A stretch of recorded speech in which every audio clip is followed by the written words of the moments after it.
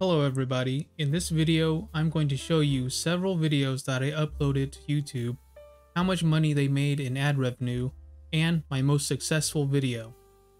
So let's talk first about this channel and what I initially set out to do. So initially, I wanted this to be about investing and I made some videos on how much money I made uh, investing in realty income, um, Omega, healthcare investors, Robinhood, etc., etc. Right? It's all about investing, spending money on investing, things like that. And I've started this in 2019, so several years ago, and where I am today is completely different than what I initially set out to do. Because, as you will see, the content that I make that's been the most successful actually has nothing to do with investing in stocks. And to prove my point, here's a video that I made that's a portfolio update. So as you can see, it's an $18,000 portfolio update. And if we go to the analytics, it's only made 15 cents in revenue.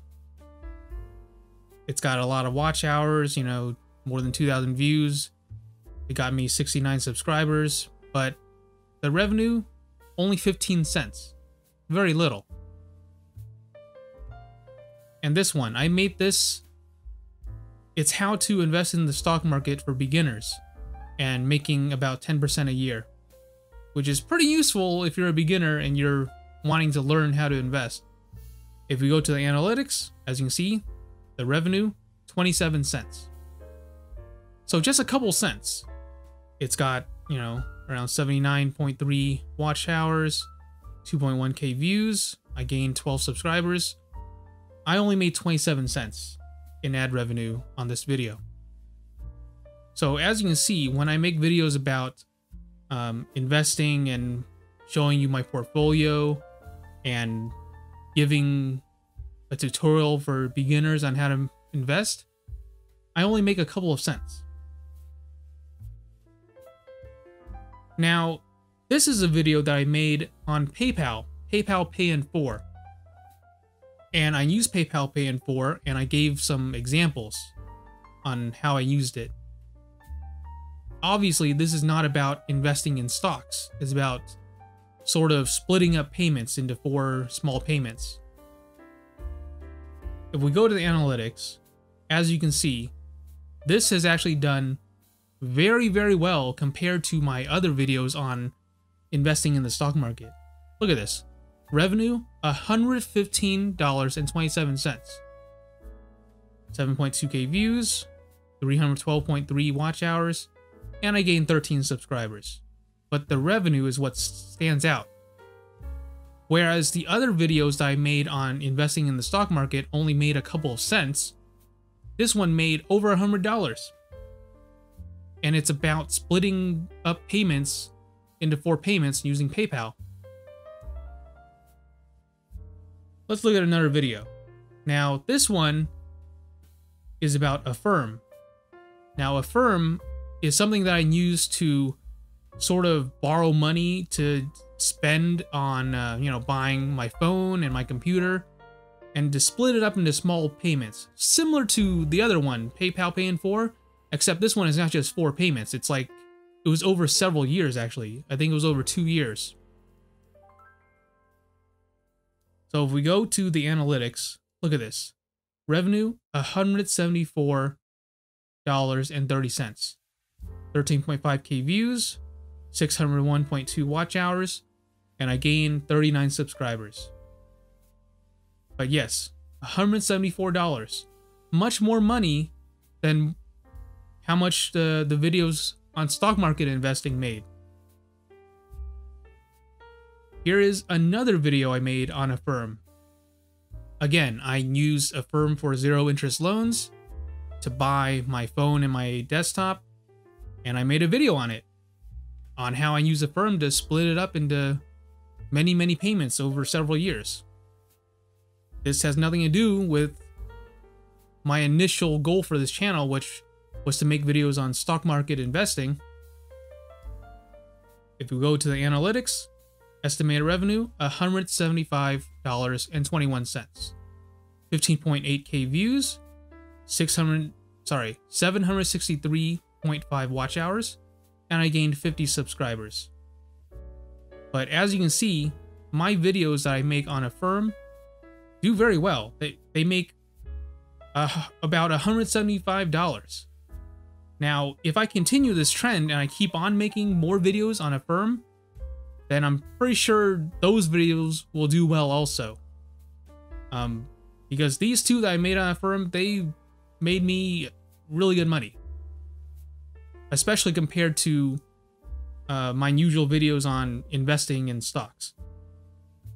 Now, I'm going to show you guys my most successful video.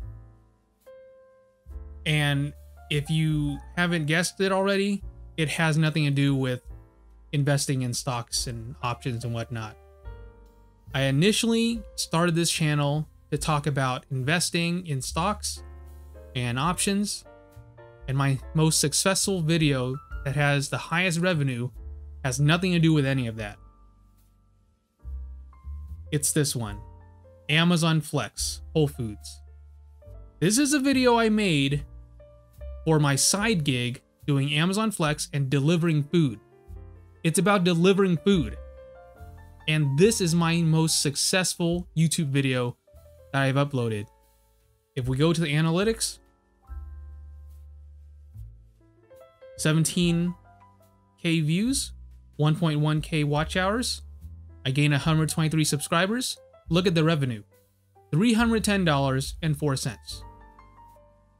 You compare that to a portfolio update, which makes 15 cents, a video on um, investing for beginners, which made 27 cents, $310.04 for this video about delivering food.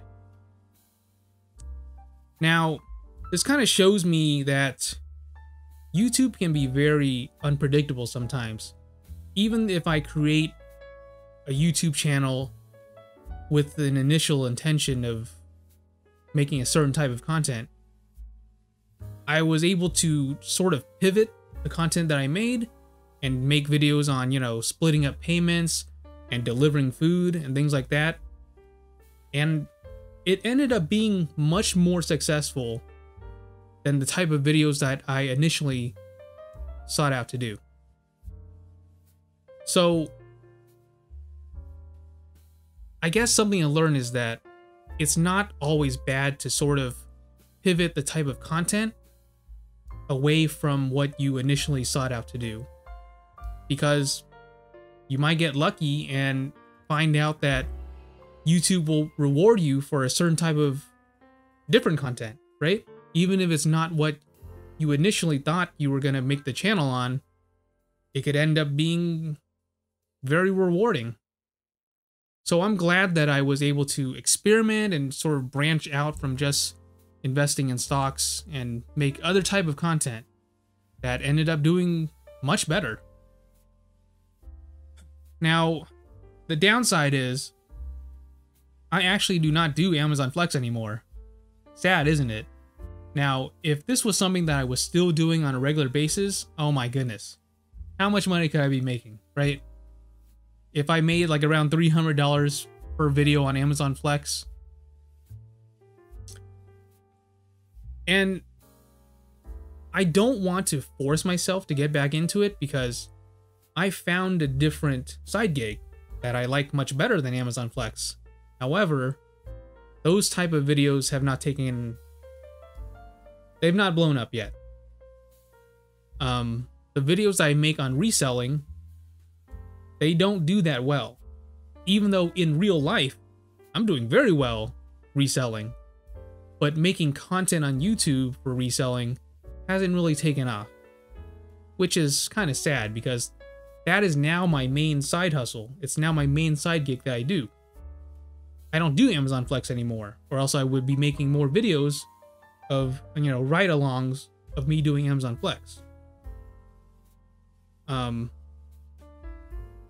but like I said, I don't want to force myself. I just want to be showing what I'm actually doing. And what I'm actually doing is um, reselling collectible merchandise. So that's what I'm going to be making content on, even though it doesn't do that well in terms of revenue. I just want to show what I'm actually doing. So there you go. That's my most successful video in terms of revenue. And I will still continue to make portfolio updates, even though they only make me a couple of cents. Um, I know that a lot of my watchers, they want to see updates on how I'm doing with my portfolio and investing. So even though they're not successful and they don't make much revenue, I'll still sometimes upload what my portfolio is and what my positions are. But as you can see, the videos that make me the most money have nothing to do with investing in stocks. Yep. So this channel is kind of taking a weird turn because the thing that I originally thought I was going to be making videos on makes me a couple of pennies. So yeah. And I think moving forward, I still want to experiment even more and maybe branch out to other types of content and see if that does well on this channel also because like I said, YouTube can be very unpredictable and surprising. I do plan to keep on making content for this channel and I can't wait to see what type of content is going to blow up next. Because I still want to sort of branch out and experiment and try new things to see what YouTube will reward me for. Because apparently it's not um, investing in stocks as the most rewarding for me personally. I know some people, they like to make that their main content and their channel has done very well. But for me, it's been the opposite. YouTube is basically pushing me to make other types of content instead. So we'll see what happens. But yeah, that's my most uh, successful video in terms of revenue, along with, you know, comparisons to other types of content I made. And I hope you guys found this useful and learned something from it. All right, thank you so much for watching. I'll see you guys next time. Bye.